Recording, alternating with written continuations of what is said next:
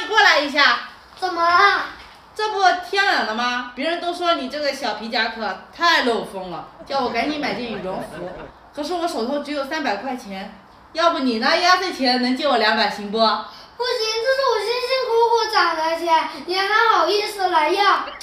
不是，你爸爸不是马上要收到货款了吗？等他把钱给了我，我再把它还给你，不就行了吗？那行，要钱也可以。你跟我玩一个游戏。玩游戏啊？那可以可以。什么游戏啊？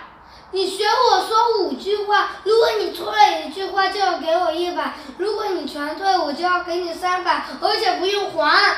哦，你的意思就是我学你说五句话，如果我全说对了，你就给我三百，还不用还啦？对。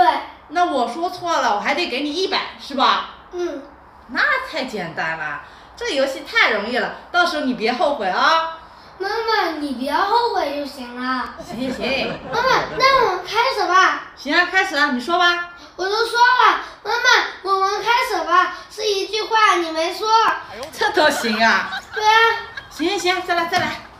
一加一。一加一。等于二。等于二。你又错了。我哪错了？我不是学你说话吗？一加一等于二啊。你又错了，是一句话，你没学。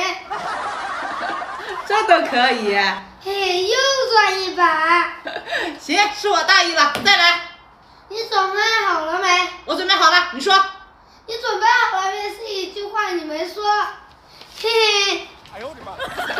这样都行啊？对呀，妈妈，我看你可怜，给你一百块钱，羽绒服买不起，买点帽子戴戴，原来脑子给冻坏了。你这臭小子，你在说啥呢？啊？妈妈，要不我送你一道题，如果你答对了，这些钱全部还给你。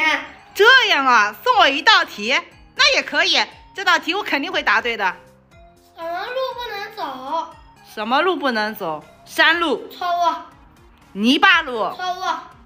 水路错误，那我不知道什么路啊？是套路，妈妈，我们现在就在玩套路，你跟我玩套路门都没有，这两百块钱你别想要了。你这臭小子，你在说啥啊？你还